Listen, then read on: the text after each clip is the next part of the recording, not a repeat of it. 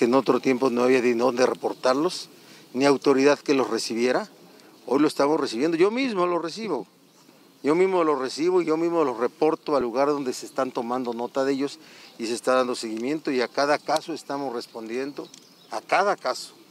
Cada caso importante estamos ahí, está la policía, está resolviendo, estamos actuando. Eso sí se los aseguro.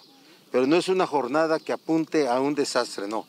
Por el contrario, es una jornada que va a transitar sin ningún problema, lo van a ver.